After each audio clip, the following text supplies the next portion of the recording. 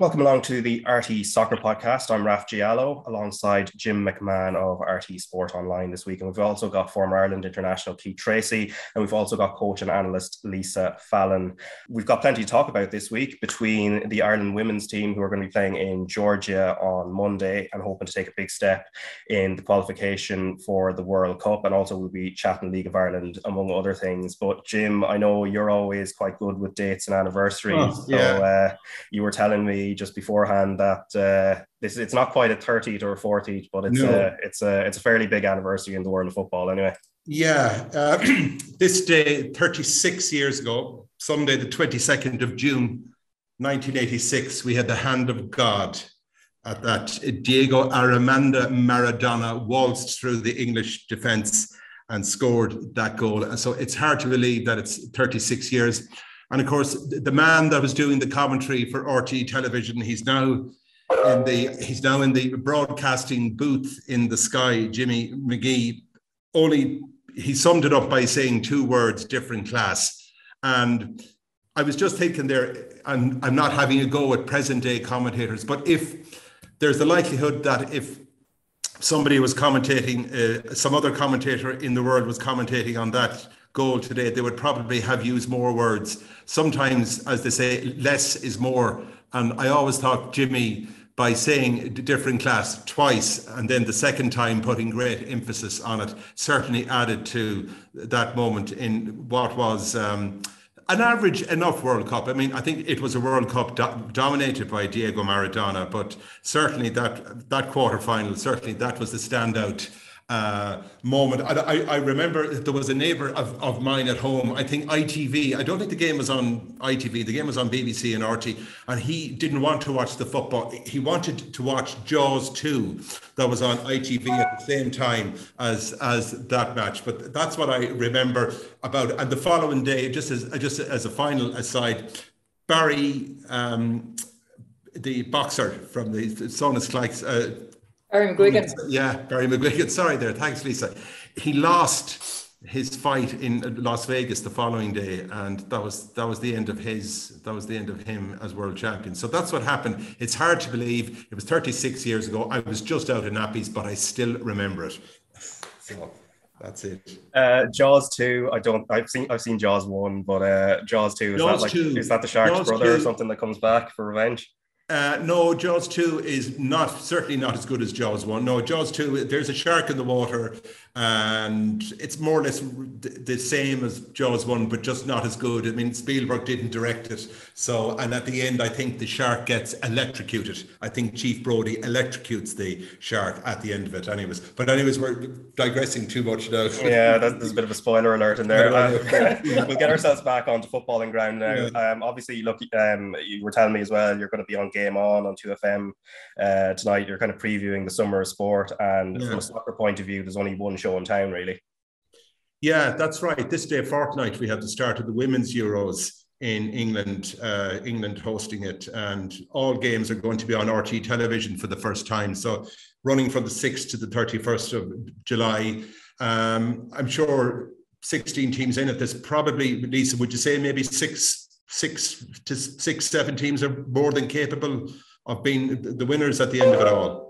Yeah, I think it's going to be a really interesting tournament, and and that's that's the thing about the women's tournaments that, that you're going into them now, and there's mm. more teams that can cause upsets. And you know, you look at Canada, what they by going and winning the Olympic gold last year, like they beat the USA and Sweden en route to doing that, and nobody foresaw it. Um, and and what Bev Priestman did was she she just got the the the absolute maximum out of her squad, and it was it was so interesting um, but I think, you know, the fact that it's being held in England makes it so accessible to people. Um, I think the fact that Northern Ireland have qualified obviously makes it, um, you know, a little bit gut wrenching from mm. our perspective. But you know, it'll be great to see how Kenny Shiels and the girls get on. Um, England are going to probably carry the burden of, of, of pressure that they've never really carried before, similar to what the men experience in competitions.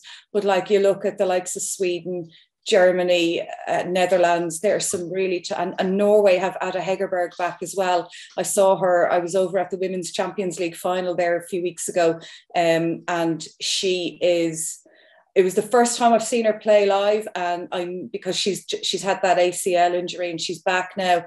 But what an influence she has on the team! She is a serious um, fulcrum around which the team is built, and she influences so much from the forward position. And I think there's something about Norway as well. I think they'll be really, really interested in this tournament. So I think it's going to be a fascinating tournament, um, and I think it's going to be really, really competitive and, and I'm really looking forward to it. And hopefully yeah. there'll be decent crowds there as well, Lisa. Just finally on it, Lisa, I know we're not there, but if we were there, where would you put us currently? I know it's a difficult question to ask, but where would you put us in the pecking, say, of of the 16 teams, or where would be where would be likely to, you know, could you see us getting to the quarter final? You know, or, or I know it's a difficult. It, it is. Well, I suppose if you think on, if you if you look at the if you put it into a little bit of context and said, say, for example, that Ireland, that Northern Ireland qualified by beating Ukraine in the playoffs, and Ukraine were in Ireland's group, and it was as a result of Ireland not beating Ukraine that we we didn't get out of the group. I think if you look at the group that Northern Ireland are in, it's a really difficult group. It, it, it's a really really tough group. Um, I think they've got Austria, England, and Norway. So it's a very tough group. Um, would I see Northern Ireland coming out of that group? Possibly not. Um, like I said, based on the quality that that's in it, but um, it's um, it, the whole thing about tournaments. And bearing in mind that Ireland have never qualified for one of the women's team have never qualified for a major tournament, so you need to get there to one.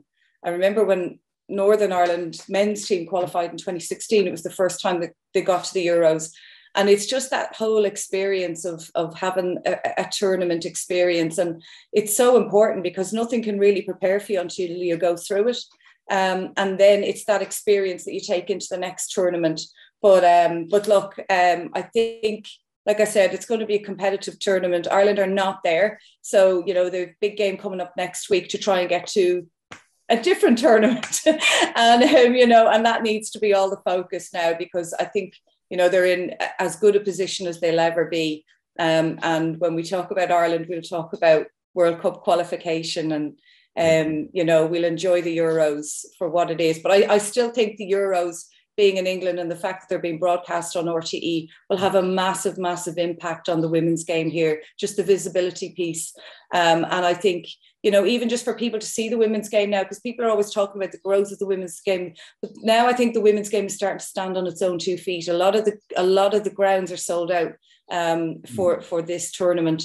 Um, and, and, you know, you just have to look at the, the crowds that Barcelona and clubs across Europe, 91,000 people at a game. Um, so, you know, the game is changing and women's football is starting to stand on its own two feet and, and establish its own identity. Um, and that's a really positive thing. And I think the, the Euros now uh, and the, the fact that they're being broadcast all over the world um, mm. is going to be a, a massive game changer. Yeah.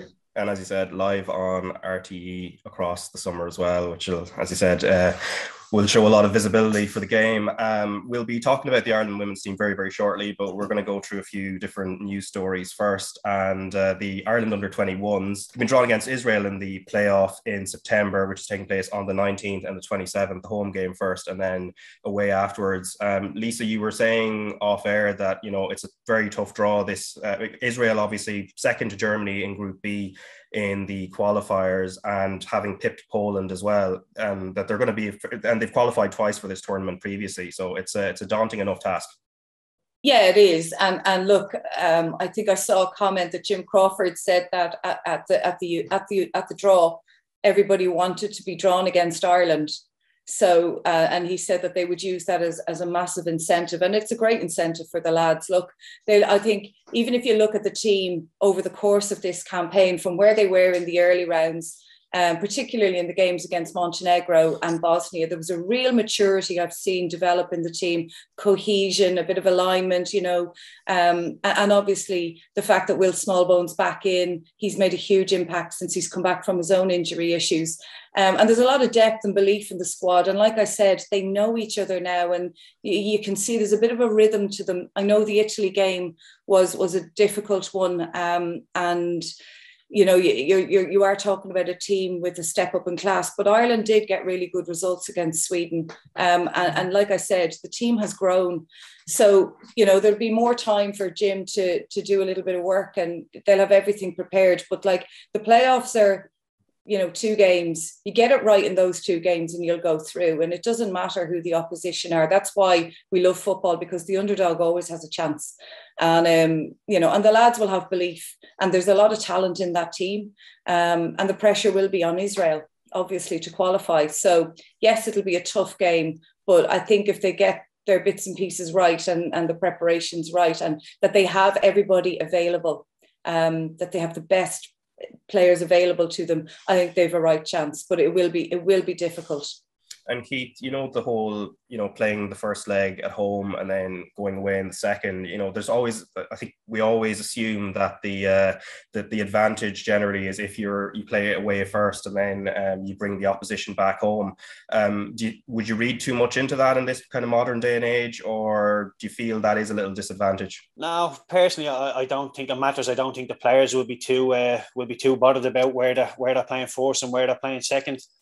I think it, I think we just need to try and do a job. And they're obviously an extremely talented bunch of lads, which we obviously have a talented bunch of lads because I, I played in an under 21 team under Don Givens that was very, very talented. And we didn't reach this uh, where they are now into a playoff. We, we fell way short. And Ireland teams generally do under 21. So it's an achievement to get where he got, especially when you're thinking that the senior team has a good couple of under 21s that could drop back down and play in the under 21 squad. So we're in a good place at the minute, but you know, I think we have we've took the a lot of strength out of 21s and brought them through to the senior team. So I don't know whether that could play a factor in, in the final standings against Israel. But look, I like it. I, I love I love playing for Ireland under 21s. The spirit of when when we meet up together and we, we were always underdogs, but we always put a good a good account of ourselves. We always fought tooth and nail for everything. So listen, if Ireland torn up with the spirit that he did in the last couple of games, there's every chance that he could uh, that he could get some sort of result here and get through, which is obviously what we all want.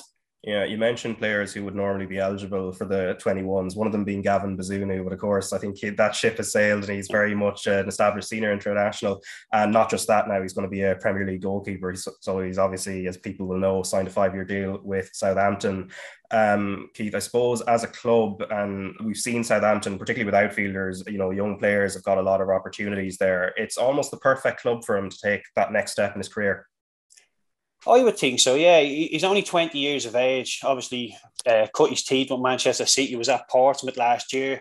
Played uh, played just I think it was forty four games in the championship last season, and uh, it's not the championship. Sorry, at Portsmouth, sixteen clean sheets which is really good. But when you think of Gavin Bazunu, you think he can play football as well. I've heard Ralph Hasenhüttl speak about him, that he can play out from the back, he can start the attack. So when we think of goalkeepers, very rarely now do we talk about shot stopping and coming out by corners and stuff like that, which is Gavin is very, very good at. He's a big, strong boy. He can do them things, but he can play out from the back as well.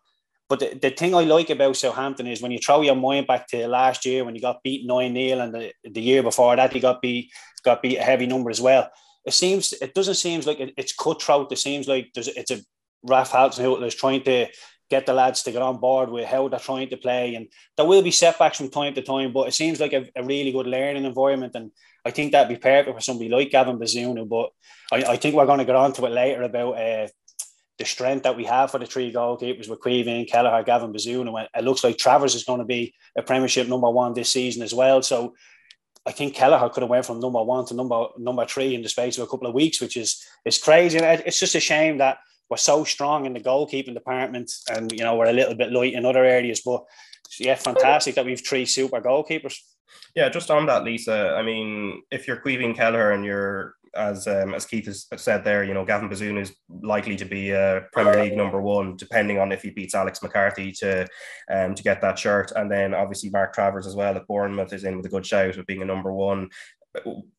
What would you be doing in Caoimhín Kelleher's shoes right now? Would it be kind of looking and pushing for a loan move?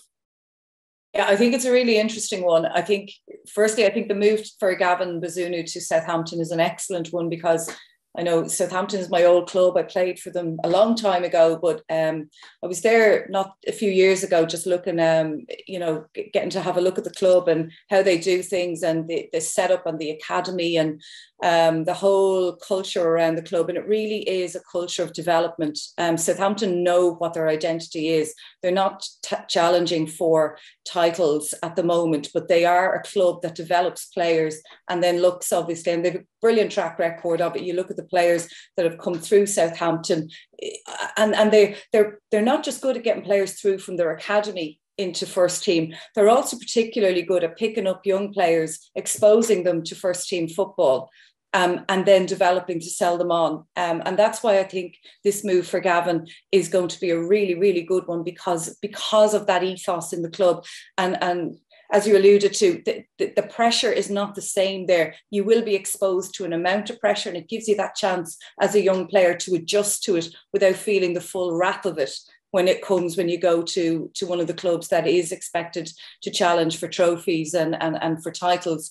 But um, on the Caoimhín Kelleher one, I think um, Stephen Kenny's comments in the last couple of days are quite interesting, where he has made it clear that he wants players and will choose players who are playing for their clubs. And I think that's him putting the gauntlet down a little bit to players that, that you know, in order to play for the senior team, because if the if players are not playing for the playing for their clubs, it does affect the the, the quality and, and the I suppose the consistency in the senior team's ability to deliver performances and results. Um, and, and, Stephen does bear that the brunt of that pressure. So um, I think it's interesting, but I think it's such a difficult dynamic when you think about um, a number one and a number two goalkeeper. The number two, once the number two is assigned, that's it. The, the, number one is the number one. And you saw it, you saw it with Chelsea. It was really interesting during the Club World Cup. Um, Kepa played the semi-final of the FIFA Club World Cup for Chelsea, and he had a brilliant game, made two crucial saves um, for them to progress into the final. Mendy wasn't in the squad for the semi final. He was with Senegal and won the AFCON. He came back in for the final. Instead of going and having a little break, he came back in and he went straight back into the team and they won the Club World Cup. Because the business at that level is to win trophies. And if you're the number one, you're the number one. If you're the number two, you're the number two. And you almost have to accept that. And I think at clubs, big clubs need a really, really strong number two but it's a massive sacrifice for a player who could be a number one to settle for being a number two. I think you can do it earlier in your career, but as you, it does come a point when you have to do it. But for Caoimhín Kelleher, because of the competition that exists for Ireland, and he's I, he doesn't strike me as a type of player who wants to settle for being a number two. It's a big decision. So and Liverpool, will Liverpool want him to stay as a number two? Of course they will. But is that the right thing for Caoimhín Kelleher? The right thing for Liverpool might not be the best thing for Caoimhín Kelleher. And these are the decisions that a player has to make throughout their career. Um, and they are ultimate, they can be decisions that can define. Like you look at Gavin, he went to Portsmouth and um, I think he had a spell at Rochdale as well. Tough places to go, hard leagues to play in. Um, and you learn, you learn a lot in those leagues. Um, and it stands to, and you can see it stands to Gavin.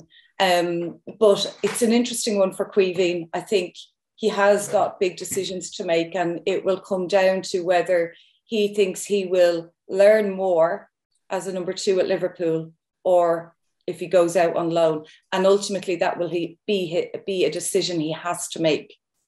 Yeah, Lisa, just talking about Caoimhín, if you go back to last year, he started every game in the Carabao Cup, started in the final, scored the penalty kick that won the tournament for Liverpool.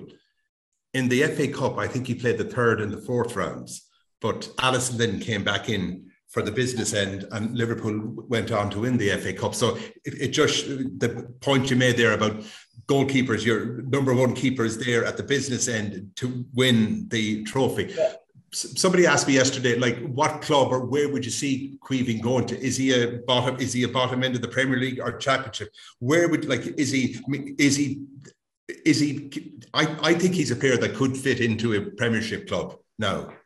But where would you like to see it? Would, would, would you think maybe top end championship or a club like, I mean, he'd hardly go to to Everton or somewhere like that because there's talk about maybe Pickford leaving. So where would you see, like, where would you see him or could see him going? It's it... really difficult to know because I think for a goalkeeper like Caoimhín Kelleher, the way he plays, so you know he is a, and you know I know we've we've mentioned it already about and, and Keith has mentioned it as well about play. Goalkeepers are much more complete nowadays. They're they're your goalkeeper, but they're also your first attacker. At the minute the ball transitions into their hands and they have it, they're in, they're the ones that are initiating the play. So I think you know the the, the, style of play and the philosophy uh, of the club and the identity of the club and the way they play would would and should have a huge factor in any decision that Caoimhín would make because it has to develop him as a goalkeeper um, for the attributes that he needs to develop um, and that is playing against playing out from the back against teams that are going to press you learning to deal with that you know being able to use both feet for those distributions mixing up your distributions being able to spot where the space is to play to and the execution of accurate um, initiations of play. And i think you know that's why it, it's people will speculate about a club but i think it's not just about getting the move it's about getting a move to a club where you will play in the way that develops you in line with your strengths. Um, so I think it, it is, um, and if you're going to go on loan, you need to know you're going to be the number one. You mm-hmm. need to know that you're going to play. Um, so I think there's a lot of factors in it, um, and I, I, think it's hard to just pick a club out of the sky and say yeah. they'd be a great fit for him because there's so many different dynamics that um, come with it. But really, if a player like Caoimhín is going to go and look to go for on loan, he needs to go to a club that matches up in terms of the style of play to the way he needs to develop as a goalkeeper, but also he needs to know that he's going to play and be the number one there. Yeah.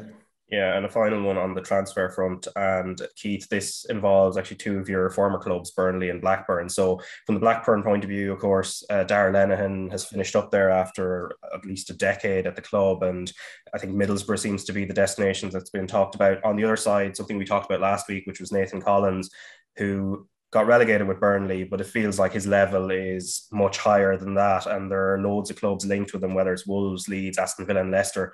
Whether a move is realistic um, or not, again, it depends on Burnley's finances and the fee they set. But uh, first on Collins, uh, what would you like to see happen this summer? Because it feels maybe a year in the championship, not necessarily, it wouldn't be wasted exactly. Burnley are a big club, but you feel that for him to ve- develop and continue where he's at, he needs to be at the highest level possible. Yeah, uh, personally, looking at my old club, Burnley, they brought in Vincent Kompany. I believe they're going to try and start playing a bit of football. Obviously, coming over from Belgium, that's that's in Vincent Kompany's DNA whether that will help Nathan Collins, you know, I, have played at Turf Moor for a couple of years.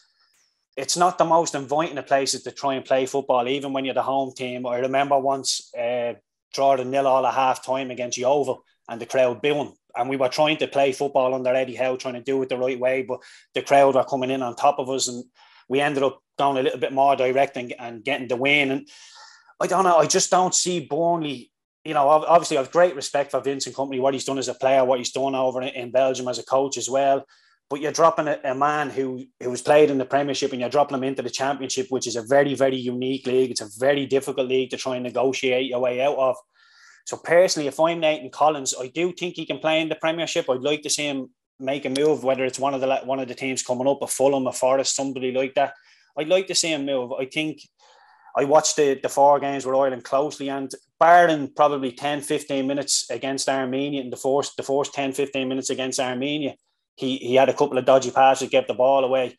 But put that to one side, he, he, was outstanding. For the rest, he really was. And when the when he get the ball away the first time and then the second time, I was thinking, God, is he going to go under here? Because international football, it's really, really tough. No matter how many times you played in the Premiership, it's a new team, it's a new, a new system, a new way of playing. And he did. He stood up to it well. He stood up to it really well. And then obviously you want to move on to the, the goal he scored against Ukraine. That's not what he gets paid for. But if we have a centre half who can step in and do things like that, I, I think I heard a commentator actually say he was like a young John Barnes as he ran through the middle. So if we have Irish centre halves being called young John Barnes, then we're, we're, we're really, really happy. But I, I'd be with you, Raf. I think he can play. I think he can play uh, in the Premiership. Whether or not, you know, Burnley's finances will have a lot to do with it. I believe they, uh, when ALK took over, they loaded them with. I think it's nearly two hundred million worth of debt, and they pay sixty million up front of it now that they've been relegated. So. I think there will be a big overhaul of players. I think they'll try and cash in on as many players as they can, which obviously again will leave them a little bit on the with their bare bones going into the championship. And I don't know. I, to be honest with you, I just don't. I don't see Burnley bouncing back. And if they do bounce back, I don't see them doing it in style. Uh, in style, I mean, playing football the right way and not the way that Stephen Kenny would do. So, if they do come back, I think it'll be a bit of crash bang wallop and get the ball forward, which is going to be a contrast to what which way we want them to play for Ireland. So, I don't know. Look, him and his agent will obviously be speaking. They'll they'll have a chat. There'll be there'll be names coming through, and he'll either say yes or no straight away to to the clubs. But if he can get into the Premiership, I'd, lo- I'd love to see him there because I think he's more than capable to stay at that level. Yeah, and Lenihan then gave a good account of himself against Ukraine. Um, as I said, long time at Blackburn, obviously a uh, alumni of uh, Belvedere as a young player as well. Um, Middlesbrough, you know, people might look at it as a kind of sideways step, but you always get a sense that Middlesbrough have a bit more about them in terms of possibly going up than maybe Blackburn would be at the moment. Yeah, and look, he's started Lenihan 41 games in the championship. That's a it's a big bulk of games as well. So he's reliable, very rarely injured, a fit boy. And I've heard I've heard West Brom West Brom thrown around a bit as well, with Steve Bruce trying to maybe take Darragh Lenihan. He's a free agent, so that will obviously there's no fee involved. So I think a, a few clubs would be more interested than he would have been had there been a fee.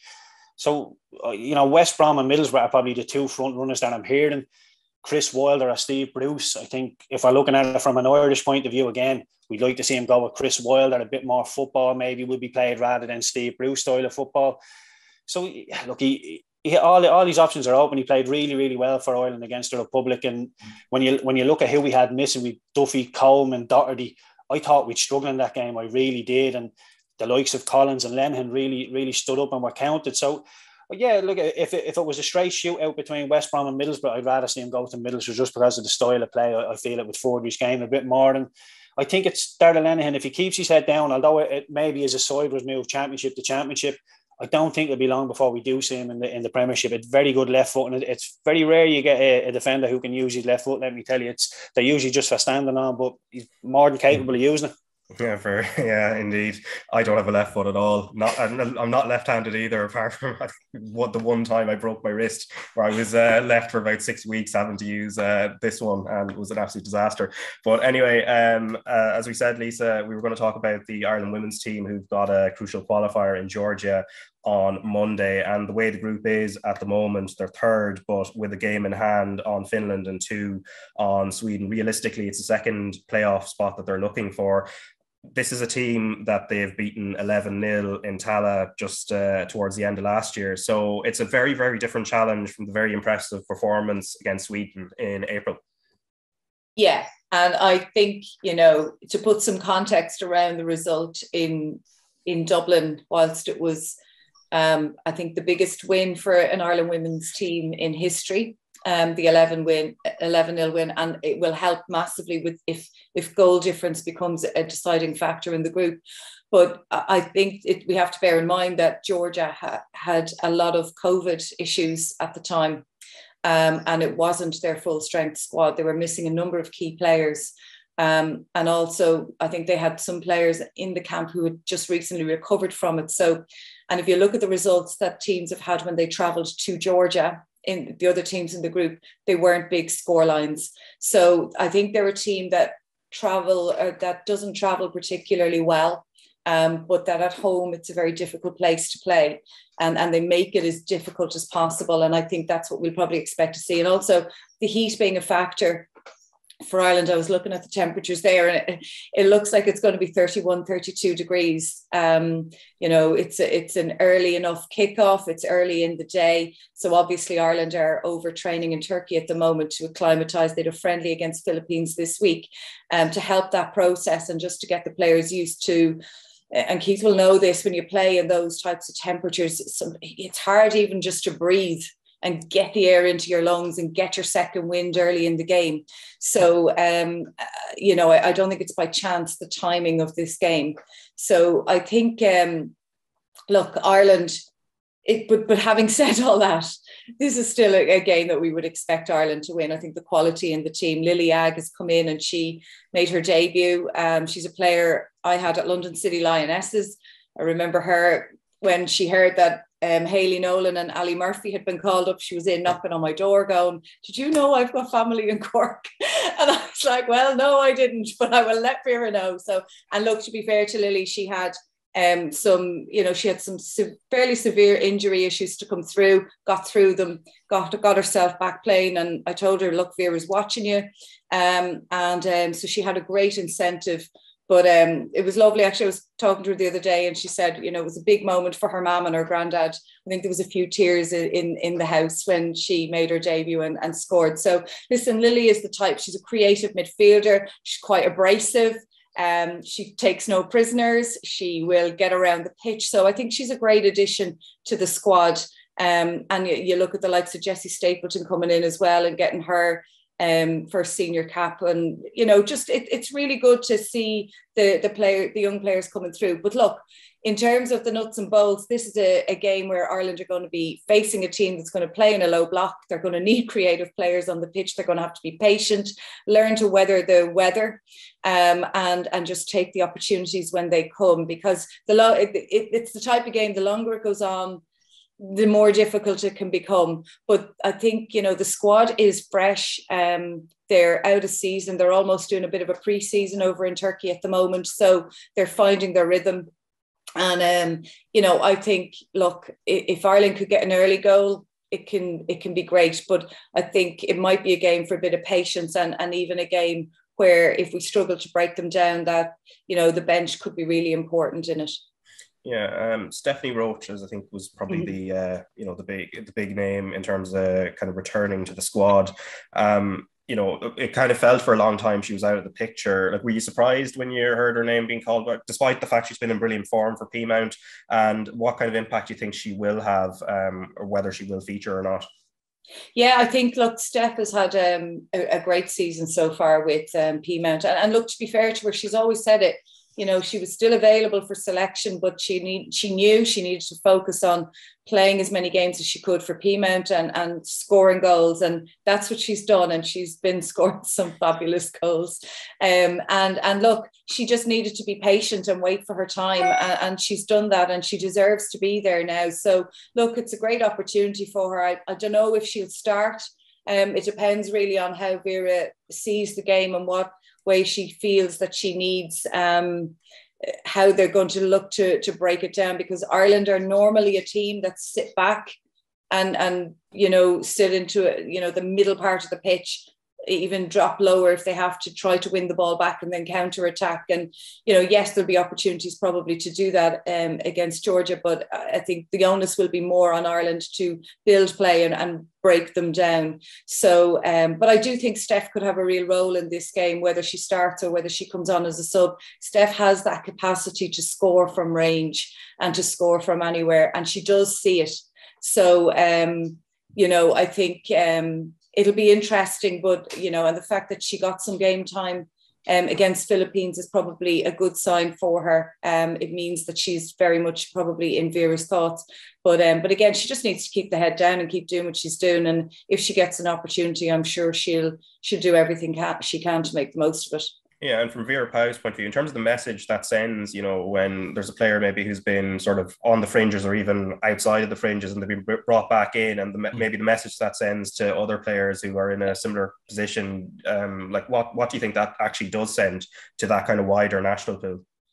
Well, I think you know, in fairness to Vera, she's never, you know, not picked players, you know, based on which leagues they were in, or, you know, you didn't have to be in England to be in the squad. There's always been a good mix of players from the Women's National League. And I think, you know, she's, to be fair to her, she's pretty much gone with the squad that she believes will will win the game. Um, and you can't fault that. And sometimes players are in form and sometimes they're not. And, you know, sometimes I think it can be difficult to not to not show loyalty to a player who's been there for a long time but is coming to a point in their career or when they hit a patch where they're not in form.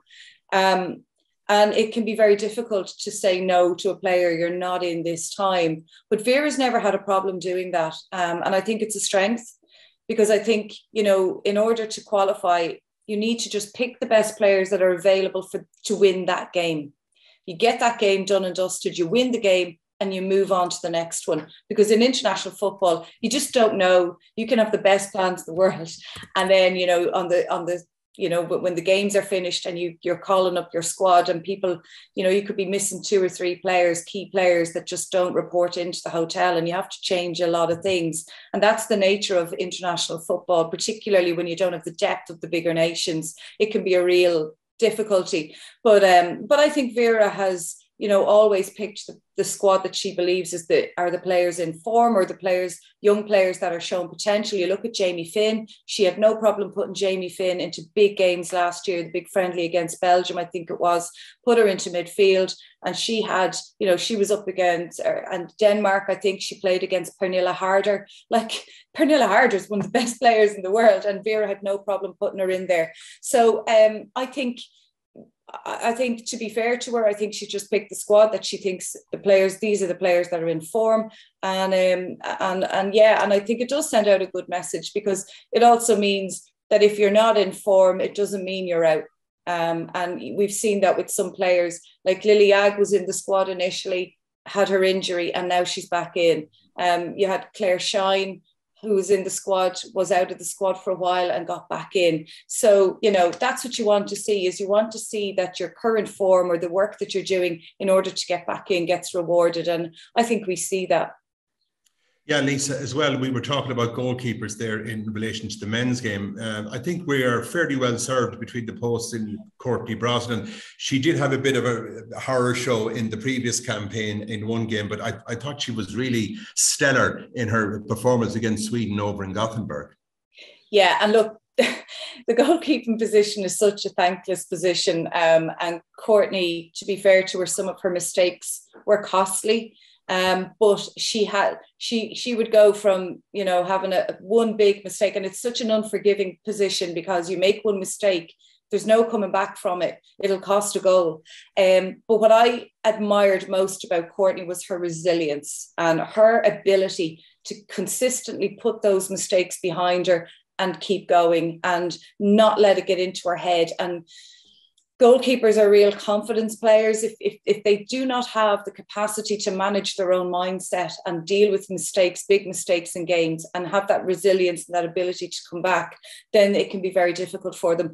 But courtney never flinched. She mm. just kept going. She kept training. She kept working. And she turned in man of the or player of the match performances consistently in this in this campaign. Um, you know, she got one and probably deserved it in the next game, but didn't get it just because she had got it in the the game previous. Mm. Um, but but that's what I like about her is is that resilience, and I think when you experience stuff like that, it gives you a bit of depth to your character and your ability in a game. Um, and you can't buy that experience. You have to get it. And there's only one way to get it, and that's the hard way. And she's got that, and she's got it in spades, and she's able to deal with the pressure. So I think those errors, um, whilst they were difficult at the time for her to deal with and for the team to deal with, I think they really stand to her now and probably are really standing to Ireland in this campaign. And also the fact that the manager and the, the goalkeeping coach and the backroom team consistently put her back in and said, We still believe in you. We know you have what it takes and we we back you and you're our number one, which is really where she is at the moment. Yeah. Yeah, I suppose a final point uh, before we move on to League of Ireland. Um, you know, we were talking about patience and trying to break down a, a team in uh, tough conditions. And then uh, it could be helpful if Denise O'Sullivan repeats the goal she scored against Houston there at the weekend as well. Uh, after, like, um, I think obviously with rights restrictions and things, we can't play oh. it here. So can you um, just describe that for us, Lisa? Oh, it's just pure Denise O'Sullivan, isn't it? Like there's only there's a certain number of players that just have what it takes to go and do that. And I mean, just the way she caught it, like the way she hit it, and it had some distance to travel and there really wasn't a whole lot of space for it to go but i love when you when they catch them like that and the ball doesn't even turn in the air it just it goes like almost you know like an arrow um but it was such a sweet strike. And that's again you know we're so fortunate to have a player of denise's quality um, both in and out of possession. What she brings to the team is phenomenal. Um, and like i said when you have a player on the pitch that can just do that um, it's so important. Um, and and look, to be fair to her, she probably due a goal like that for Ireland. and it'd be great if we could see one in, in one of the next three games. But look, Denise is a, a top quality player. She's playing at the highest level of the game in the States. Um, and, you know, I think even for the other players when they see one of their own doing something like that it gives them all a lift you know it's it's something that everyone can just sit back and, and enjoy and um, you know, hopefully we see a few more from her in, in, in a green shirt to be great. Most certainly. And also in the SSE Airtricity League Premier Division, there was also a cracking goal from Dawson Devoy as Bohemians beat Shelbourne uh, 1 uh, 0. And they were also down to 10 men, of course, as well uh, later on in the second half. And then Derry City drew 1 1 with Drogheda United. Dundalk in the big game on Friday beat Shamrock Rovers 1 0. Robbie Benson scoring with 10 minutes to go. And then St. Pat's and Keith, you uh, mentioned off air, you were at, or you were doing commentary on this one. St. Pat's beat UCD 2 1 with Eoin Doyle scoring twice. And then Sligo Rovers, John Russell's first game in charge, 3 0 win over Finn Harps with Aidan Keena scoring a couple of goals. We'll start with uh, Dundalk. Obviously, look, their third clean sheet in a row um, since beating Derry City 2 1, second best defensive record uh, behind Shamrock Rovers, only conceded 14 to Rovers 13. So, uh, Keith, I suppose overall, you know, we've been talking about Dundalk for a while over the last last few weeks in terms of their form under Stephen O'Donnell, going from, you know, getting too many draws at the start of the season and now really kind of uh, setting their stall out. And we almost have a title title race. Yeah, we do. There was it five points behind the uh, Rovers now, and uh, they have a game in hand as well. So it, the race really is on. And to be fair, you look back what a couple of weeks ago when you're thinking there's not going to be a race. Rovers are going to run, away with it again. But it's great that we do have a we do have a race, and fair play to Dundalk and, and Stephen O'Donnell because I done a I done a, a podcast uh, a, a, year or so ago. Sorry, it would have been just as as he left the. Uh, St. Pat's, and he was getting a bit of bit of aggro from the, the 200 people that were there, saying, "Oh, it's a sideways move. I can't believe it." It was actually viewed as a backwards move as well at the time because people were expecting Pats to kick on and Dundalk to tail off ever so slightly. But he's really has he just as Dundalk looked like they were coming away. He's really uh, injected a bit of impetus again. Five wins on the bounce. Don't concede an awful lot of go- an awful lot of goals, and they look really really solid as well. And going and beating Rovers, Robbie Benson with the goal as well they look like it, they could put this into a real race, and with the fixtures coming up on the weekend, just makes it uh, makes it really really it makes a mouth and It's good because, like we said, Raf, we, I really didn't think we were going to get a title race, but it looks like we're going to get a get a half decent one anyway. Yeah, they're uh, five points behind game in hand, and also they don't have Europe to contend with.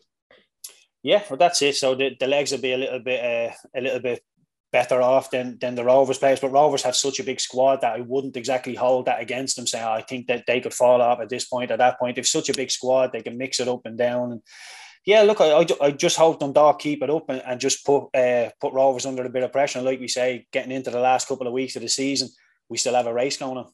Yeah, because Shamrock Rovers, of course, Lisa, um, they go from that Dundalk game now to a what is always going to be a tricky derby against Bohemians, albeit they've beaten Bohs the last couple of times, um, so they have the edge on that front. But um, it's a it's a tough it's a tough game, albeit it's in Tallaght as well. Yeah, look, those games always take on you know their own nature and and they are brilliant games. They're games that every league of ireland fan kind of looks forward to you know whether you're you know involved with the clubs or not. Like is it's always a result that you want to watch and, and see what happens.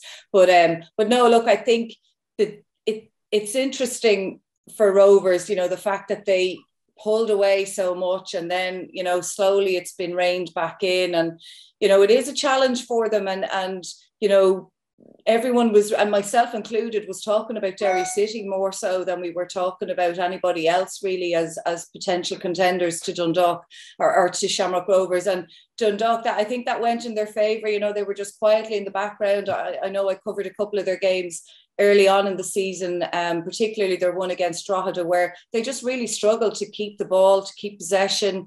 Um, as you said, they were drawing a lot of games. Um, keeping clean sheets but not able to score. But they're starting to find a bit of um, a rhythm in the team now, and you know you can see the I suppose the older Dundalk traits that I would remember in that team from Cork City times. Um, you can see them starting to creep back in and, you know, or become a bit more evident. And, you know, Dundalk will enjoy the fact, and Stephen O'Donnell will enjoy the fact that no one's really talking about them and that they're just there in the background doing their business, creeping up the table. And that's all they can do, just keep putting points on the board. Um, you know, and it's if you if clean sheets win leagues, goals win games, but clean sheets win leagues, um, and, and that's they're doing. You, know, that's been a, a, real feature of the team. So, um, but look, the Dublin Derby is is a game that can take on. Look, anything can happen in them. We've seen it down through the years. Um, and obviously, with Andy Lyons going from Bohs to Rovers, and he's been having a cracking season himself. And I think he he had um, an important role in the last one. So, um, you know, look, I think it's it's a great game, big pressure game for for Rovers. One they have to win. Mm-hmm. Um, no, no, not as much pressure on Bohs, obviously, but um, with Dundalk so hot on their heels, I think you know there is a little bit pressure there for Rovers, and you know they don't have the the little bit of comfort zone that they they had a few weeks ago, so they they have to keep winning.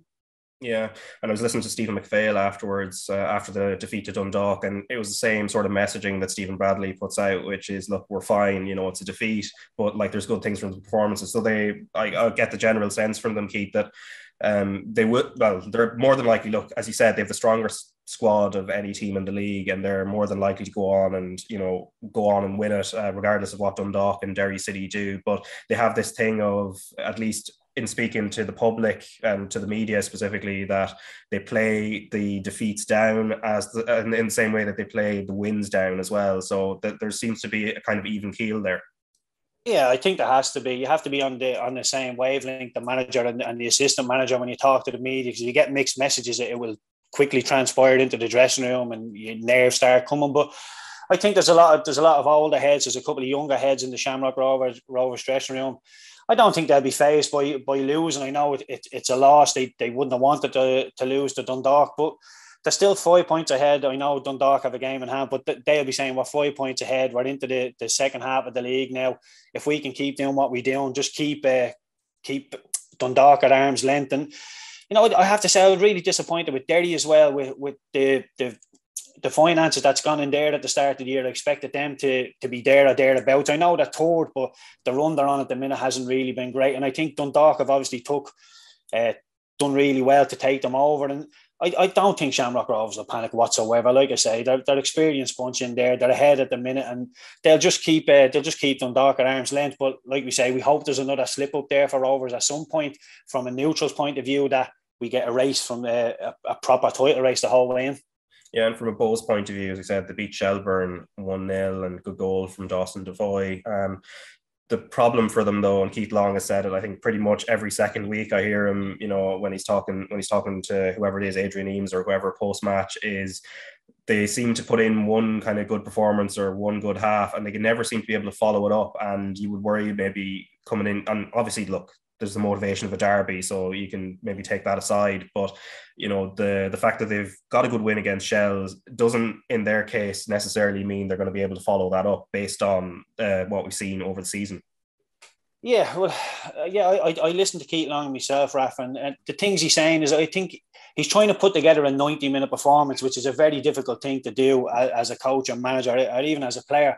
You will get 10, 15 minutes in games where you're on top and things feel good. And you'll also have 15, 20 minutes of the game where you're, where you're under the caution. You need to just weather the storm. And I think Bohs have been okay when they're on top, but when the opposition team have started to go on top, they do go under. And I think that's where Keith Long is a little bit disappointed because they've shown in the games that they're they're good enough, they have enough quality to dominate the game, but for whatever reason, you know, things happening within the game, they seem to just drop back and, and invite a little bit of pressure. And Keith Long won't be happy with that. But like you say, it's a derby on the weekend, so you'd expect uh, you'd expect Bohs to be to be full of legs, full of running, full of desire. And I do think they'll be on top at some point in the game. It might only be a 10 minute period, a five minute period, they'll be on top in the game.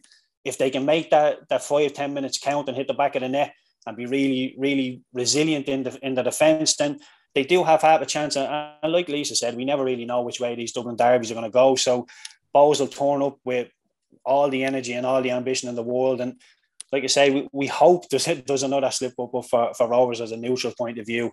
Do we see it coming on the weekend? If I'm honest, probably not. But stranger things have happened. Yeah, as Keith said there, um, in regards to Derry City, I mean, it's the run they're on is quite disappointing, and obviously there had been the little break, and you would have thought from a Derry point of view, regroup and then try and like grind out a win. Unfortunately for them, Lisa, they uh, they got pegged back by Dean Williams' penalty uh, for Drogheda, and again, it's a missed opportunity, and it, the question marks kind of linger then um, for either side of the break. So um, for for Derry, obviously, kind of next up. Next up for them, it's a trip to UCD, which probably offers an opportunity for three points. But it, it just seemed to it's it's a struggle for momentum at the moment for them. Yeah, and I think eh, you know, and and look, to be fair, it's probably this group at Derry. It's it, as, as a group and and as a management group, it's their first year really. So, and it does take. I firmly believe it takes a year just to get your to get your get what you want into the players, get them to understand it, get them to be able to execute it in games and against different types of opposition. I think the the bit of pressure probably didn't help them um, because and with the investment, you know, everyone's going to talk them up and, and look, that's going to be part of the course. And that's something that Rory will, will will just have to get used to. But I really think, you know, whilst they started well and I thought they probably would have had a bit more consistency than they've shown, I think really Derry will probably you know, we'll probably see the fruits of their labours next season. I think he'll might make a few adjustments to his squad again in the off season. Um, he might even freshen things up a little during the, the, the summer break. But I think really Derry are grounding now for what they'll do next year. Um, and the, the key is like, look, we know they have the talent, we know they have the capacity. They've probably got some key players that they thought might have been available earlier that, that haven't been. Um, so I think um, for them, this year will be more of an establishment year, and we, will see a bit more. You know, I think they'll have bigger expectations on them next year. Um, but you know, they do need to find a little bit of rhythm as well. It's important that they do that, um, and that can be the hardest thing. You know, you win in a game and then getting that consistency and getting that bit of momentum because the momentum you know goes the opposite way as well if you've got negative momentum it's just as hard to break that um, so, and sometimes the summer break does help with that. And sometimes it, it, if you don't get the, the, the good start straight after the break, it can just fall back in again. So, but look, um, I'm sure they're working hard on it. As you say, the UCD game, they'll probably see it as an opportunity to go and try and get back to winning ways. Um, but but for Derry, really finding a bit of consistency in their positive and some positive momentum is what they need to establish um, for the second part of the season. Yeah, and Keith, you were at Pats and UCD um, doing commentary, and obviously Eoin Doyle, who I think there were would have been high hopes for this season in terms of delivering kind of a huge glut of goals. At least on this on this front, anyway, he got a brace, and he has he has had a few goals over the season anyway. Um, but it's key for them, especially with the young squad around them, that he's able to you know kind of deliver on, on that front. Yeah, well, that's exactly what uh, what Pats will want from him. And will be a little bit a little bit disappointed on Doyle because there was there was a chance in the first half. He, he's only about six or seven yards out, and he's moving away from the goal. He, he's in front of the goal. He's moving away from the goal, and it's up around hip height, and he's trying to. He gets good contact on it, but he just hits it wide and just after that, UCD went up and had a chance, and Anang actually made two very good saves in the in the Pats goal. And you're just thinking, as I'm doing commentary, and thinking, Pats have been really, really comfortable in this 45 minutes. Will be they're unlucky not to be a goal up, but there was a scenario where they could have been one nil down at half time, and you're just thinking all the time with Pats. Although they look really good in possession, they they threatened, they were huffing and puffing. They even when they hit the back of the net, the Doyle, Eoin Doyle got two. You're still thinking UCD do do possess a counter punch here, and they brought Liam Kerrigan on in in around the 75th minute. Pat start dropping back. They made a, they went from a four at the back to a five at the back, and all of a sudden UCD got a goal. I think it was about the 86th minute. and UCD are throwing the kitchen sink at them. Now, Pat's managed to obviously see the game out and win 2 1. But from a coaching point of view, and even as a player's point of view, you're thinking for 80 odd minutes, Pats were very, very comfortable in this game. And there's a scenario where they could have drew it. So I know Liam Clan- uh, Tim Clancy won't be too happy with that, thinking that being so like when you look at the game, I was looking at the game and I I, I analysed the, the stats and it, it was a real shock to me that UCD actually had 51% of the ball. They had more shots on goal as well. They so for, they were more productive in the game, although for me watching it, Pats were really, really comfortable.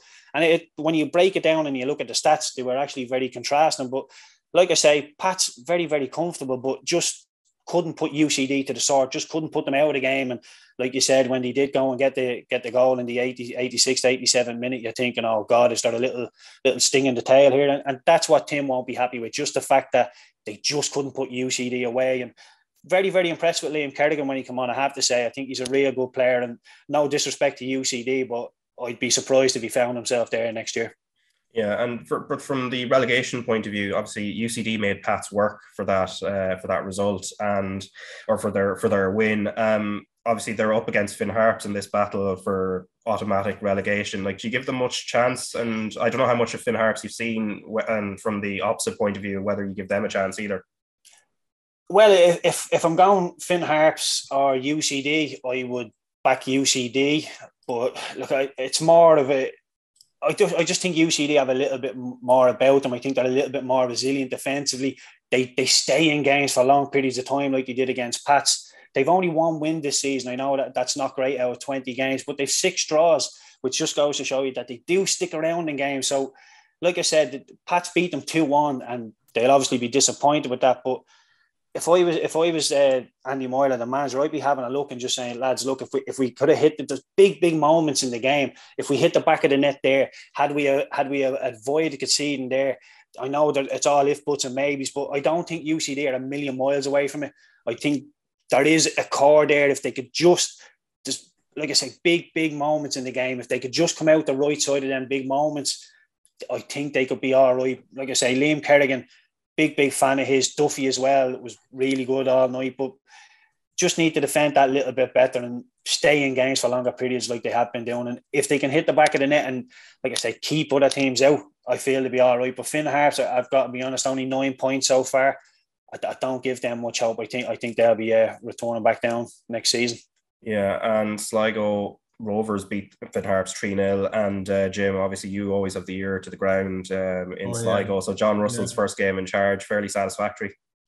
Yeah, it, was. It was a pretty comfortable win. I mean, they had two goals. They went two goals up inside the inside the first seven minutes. The Harps keeper made a bit of a howler, McGinley, for the um, second goal. Yeah, I mean, Sligo were comfortably, they played some decent football, uh, were without Greg Bulger on the night, but still, at times, they, they were a bit sloppy and careless at times as well. And Harps did have a couple of chances. Uh, McGinty did have to make a couple of saves, but then look, Sligo scored again later on. But um, yeah, look, I mean, it's an important part of the season for Sligo, of course, because they've got that trip to Wales now in the Conference League coming up where they play Bala. And the expectation is that, you know, the expectation is that they'll be expected to win that game. And I believe there's a crowd of 400, 450 people heading over to, uh, I think it's Shropshire. I think the game has been played at the TNS ground, which is Total Network Solutions ground. So, um, so Sligo, like, I mean, they'll be in the look, they'll be looking again at those top four spots, which I think is going to be really, really competitive. I mean, if we're talking about a title race, Shamrock Rovers won. If, if we're saying Dundalk two, I think it's going to be really, really competitive for those other two uh, spots. Possibly at this stage, you're saying two from four, with maybe sort of Derry, Pats, Sligo, and Bohs in that order. But uh, yeah, it's a crucial period for Sligo coming up. Also, just looking at, at, at the fixtures there, with, with, Keith mentioned about Shamrock Rovers uh, title, they're away to Pats on Monday. So I mean, that could be that's that's a crucial test for them as well. So uh, yeah. coming up. Yeah, for, most certainly. And uh, as we talk about title races, um, which may or may not happen in the Premier Division, in the First Division, at least for the promotion, direct promotion race, uh, there certainly is a lot going on. So, uh, Bray Wanderers lost 5 1 at home to Galway United, who've now gone top of the division. Treaty United beat Athlone Town 2 1. Cobh Ramblers lost 3 0 to Wexford, and then Cobh did part ways with their manager Darren Murphy. And then in the Saturday game, it was um, Longford Town drawing 1 1 with Cork City. And that is the reason why Galway have gone top. So, Lisa, um, you would always have the ear to, ear to the ground in Galway. Obviously, it's a club you know very, very well. And, you know, it's nip and tuck at the very top there. Yeah, it is. It's it's a brilliant, brilliant title race. Um, two really good teams, Cork and Galway, just with so much um, bite about them and and you know talent. And obviously I know Colin Healy really well from my own time at Cork City and obviously the club. And and obviously I was with Galway last year. But you know I just feel that you know the hurt from last year was was real um you know to finish second. And and and just lose out in the playoffs. It was it was really but I, I feel like with Galway at the moment I just feel like they, they've got real momentum. I think you know I think last year when the club changed over and went to full-time football it was it was a bit like pushing a snowball up a mountain you know just trying to get it going and and get things to grow and and develop and get it there. And but I just feel in the last few weeks they've maybe got to the top of that mountain and now the snowball is on its way down and it's getting bigger and bigger and faster and tougher and harder every week. Um, and, and I just think, you know, the, there was a real statement about them in, in the win over Bray. Um, I think Cork will push them, Cork City will push them all the way to the end for sure. I think it's going to be a fascinating battle. Um, I think Longford uh, and Waterford can still affect the way the, the, the top two spots actually which two teams fall into which order. Um, but I, I just have a feeling, and I know it's probably, I'm not really biased because I have a lot of bra and a lot of love for both clubs. Um, but I just feel that Galway have real momentum at the moment. And I, I just, they're scoring goals. There's people all over the pitch contributing to the goals. Like Walshy is in the form of his life, you know, going from um, uh, I suppose, a veteran centre back. I hope he doesn't mind me saying that, or a veteran left back last year to um, a, a centre forward who's got eight goals and four assists this season. He scores after 36 seconds the other night. You know, Walshy's a brilliant lad. Um, I know he's doing a bit of coaching down there as well. Um, he, he's he's dipped his toe into management himself. So, but um, but look, I just feel that Galway have have real momentum at the moment and and it's it's a momentum that I think is going to be hard to break. Um, and you know look John's a, a, seasoned winner. He knows what it takes.